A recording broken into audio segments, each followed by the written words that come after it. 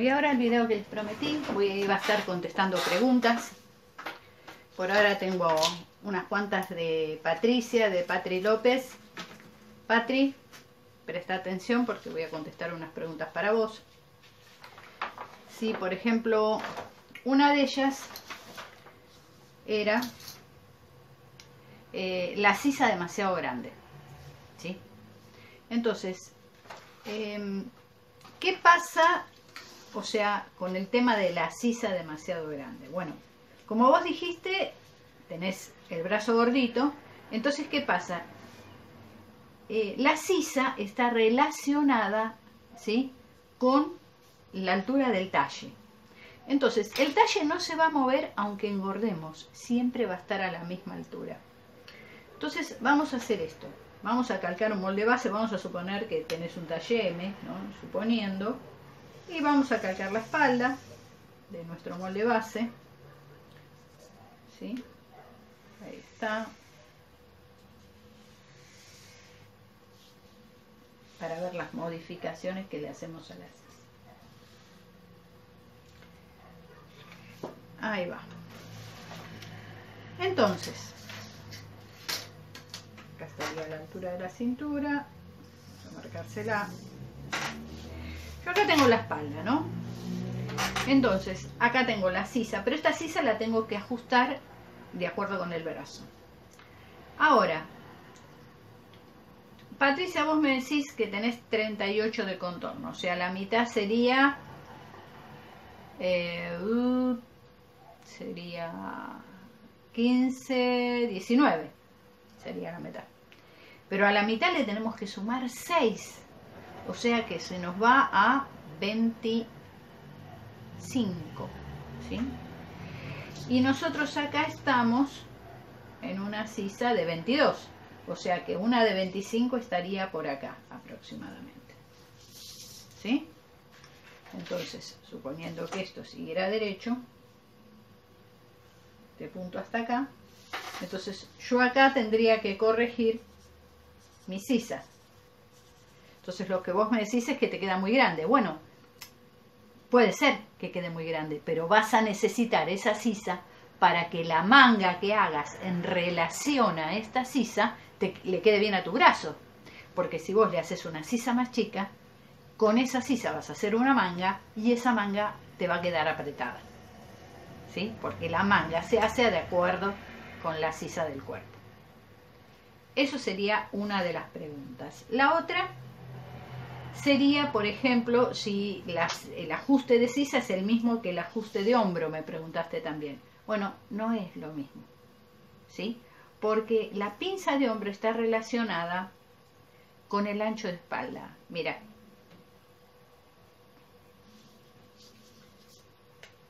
Bien, teniendo eso en cuenta, vamos a pensar acá. Vos engordaste acá, en esta parte, vamos a suponer. Entonces, ¿qué pasó?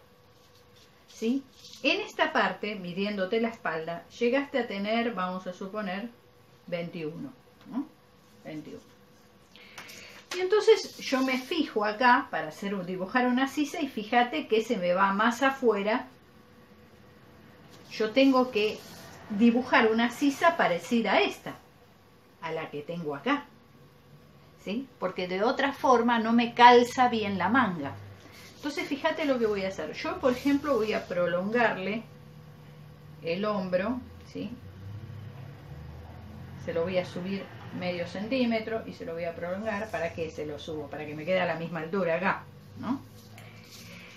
Y voy a llevar desde este punto medio donde yo me fui, el ancho de la espalda me lo marqué, lo voy a llevar como no totalmente derecho. Derecho sería así, vamos a suponer, ¿no? Ahí. Lo voy a llevar como medio centímetro más afuera de donde se fue, por ejemplo, si yo acá tengo, acá tengo 21, acá le voy a dar 21 y medio, ¿ves? 21 y medio. Para que me dibuje una mejor forma de sisa. ¿sí? Primero me voy a preocupar por eso. Luego me voy a venir bajando acá, ahí, ¿sí? Y ahí tengo mi sisa dibujada. Y ahora me voy a ocupar del hombro. ¿Sí? ¿Por qué? Porque yo por dibujar la sisa que está relacionada con la espalda, el hombro me quedó más grande. Entonces, yo tengo que volver al hombro inicial. ¿Cómo hago esto? Ahí vamos a ver. Lo que hago es hacerle, fabricarle una pinza, que la voy a hacer en escuadra sobre la línea del hombro. ¿Sí? Tiro una línea. ¿Sí? Fíjate, a 5 aproximadamente centímetros de, de la sisa. ¿Y qué hago? Le quito este pedacito, ¿sí? En mi caso será un centímetro, aproximadamente, ahí está. Le quito este centímetro en una pinza. Y con este centímetro corrijo el hombro, porque se me desfiguró cuando yo quise darle amplitud a la espalda. Entonces ahora tengo amplitud en la espalda por esto y hombro corregido por la pinza. ¿Hasta dónde llega la pinza? Obviamente no puede traspasar este sector, porque en este sector yo necesito el volumen. Entonces, si yo la llevo muy abajo, le quito lo que le puse. Y ya no cumple ningún sentido. Entonces, tiene que tener aproximadamente esta pinza entre 9, 8 9 centímetros. En este caso tiene 8 y medio. Ponele 8, 8 y medio centímetros de profundidad. Y con esto corrijo el hombro, ¿sí? Y a su vez tengo las dos cosas. Tengo amplitud, la amplitud que necesito en la espalda y tengo el hombro corregido. Esta es una de las preguntas que me hiciste, Patricia. Y tengo otra más. Bueno, que era el cálculo de la tasa de busto, ¿sí? Cuando en otros países es, es distinto. Y bueno, vas a ver un video ahora. Bien, acá vamos con la medida, cómo saber eh, la medida de la taza del gorpiño para realizar la pinza de busto o pinza de costado. ¿Sí? Vamos a medir desde el centro del busto hacia abajo hasta donde se une con el cuerpo. Hasta esta parte. Desde el centro hasta esta parte. Entonces vamos a medir. Apoyamos el centímetro en el centro y vamos hasta donde se une con el cuerpo. En este caso tenemos, a ver ahí, tenemos casi 10 centímetros, ¿sí? 9 centímetros con 8. O sea, sería una taza de 98, por ejemplo.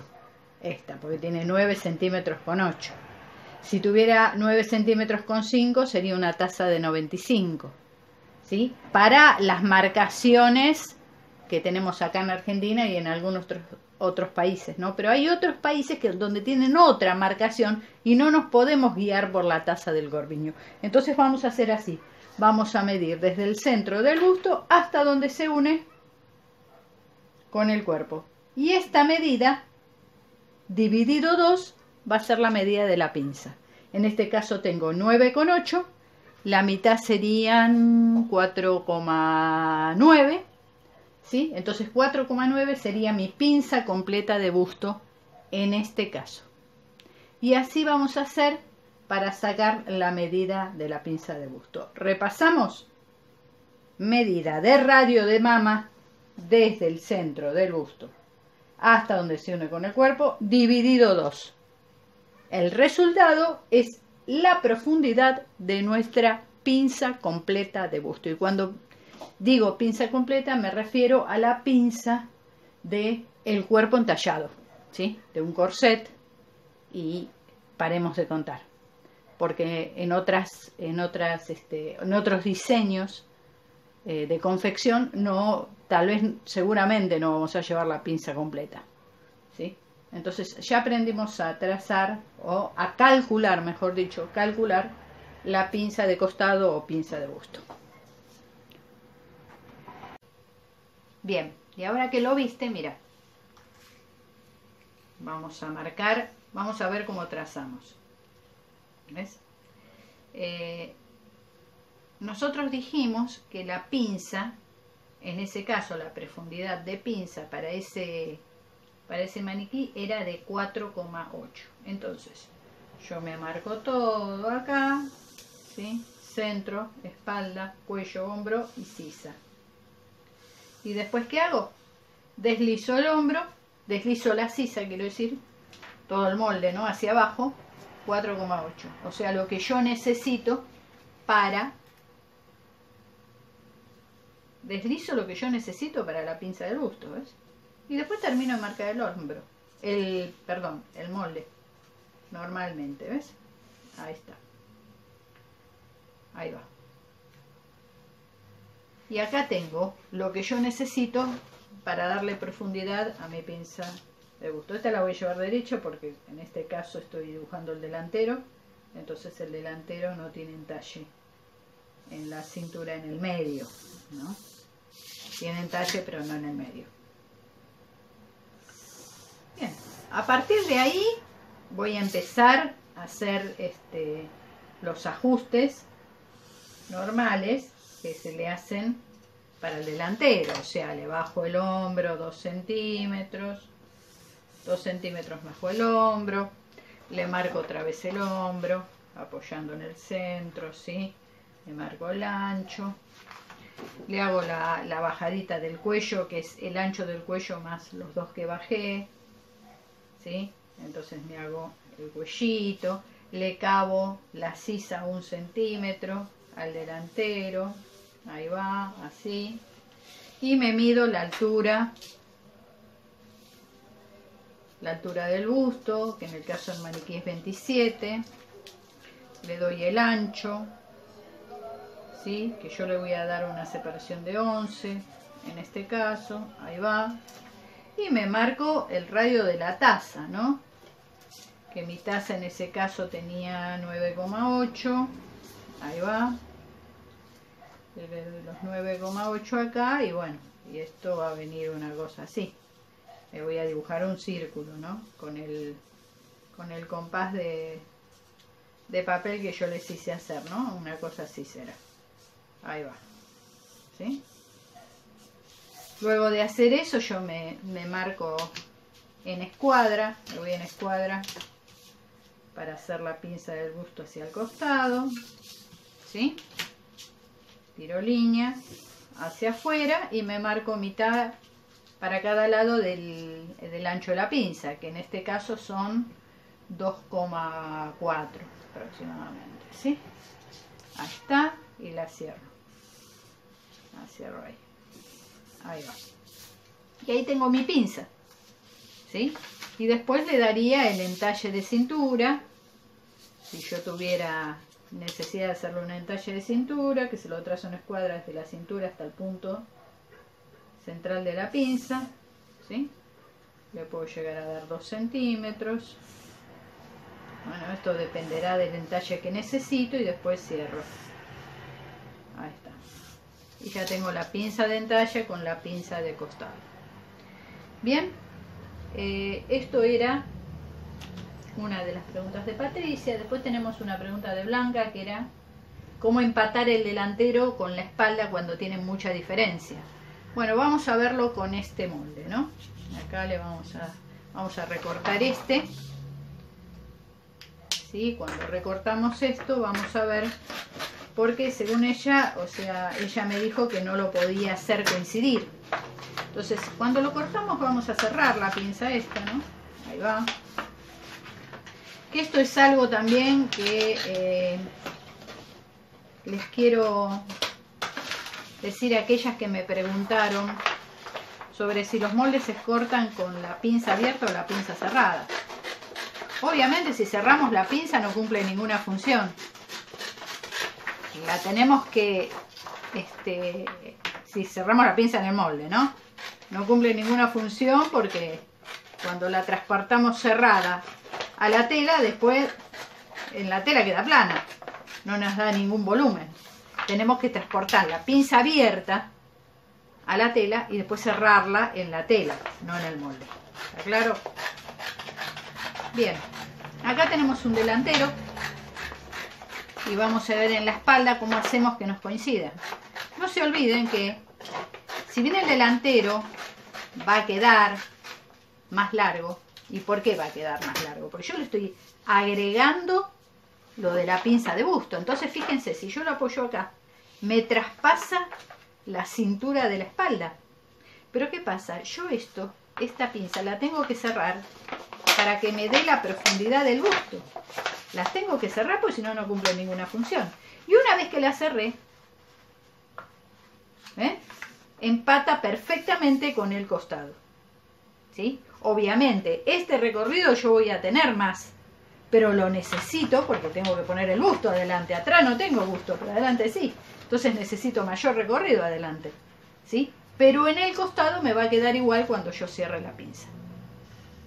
Bien, esta es la pregunta para Blanca, me preguntó cómo empatar después o cómo hacer coincidir delantero con espalda si había mucha diferencia. Obviamente va a haber la diferencia, o sea, cuanto más gusto tengamos, más diferencia va a haber. ¿Sí? Porque más, más centímetros de profundidad de pinza vamos a tener si tenemos mucho gusto. Entonces, si tenemos más centímetros de profundidad de, pinza, por ende vamos a deslizar más el molde y nos va a quedar más largo. ¿Sí? Como en este caso tenemos una pinza importante, ¿sí? Tenemos una diferencia acá de como 3 centímetros. Más, ¿ven? Que la espalda. ¿Se ve ahí? Fíjense ahí. Miren acá. ¿Ven? Acá está la cintura de la espalda y acá está la cintura del delantero. Pero ¿qué pasa? Yo no me tengo que fijar en eso. Yo me tengo que fijar que cuando yo cierre mi pinza delantera me coincida en el costado. Y si me coincide cintura con cintura, está bien empatado. Bueno, espero haber contestado estas preguntas y bueno, eh, y nos vemos con algo nuevo en el video que viene.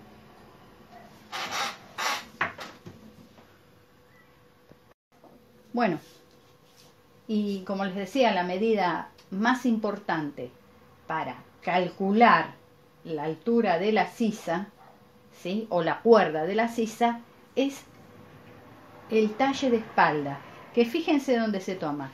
Se toma desde el quiebre del cuello, ¿sí? hasta la cintura.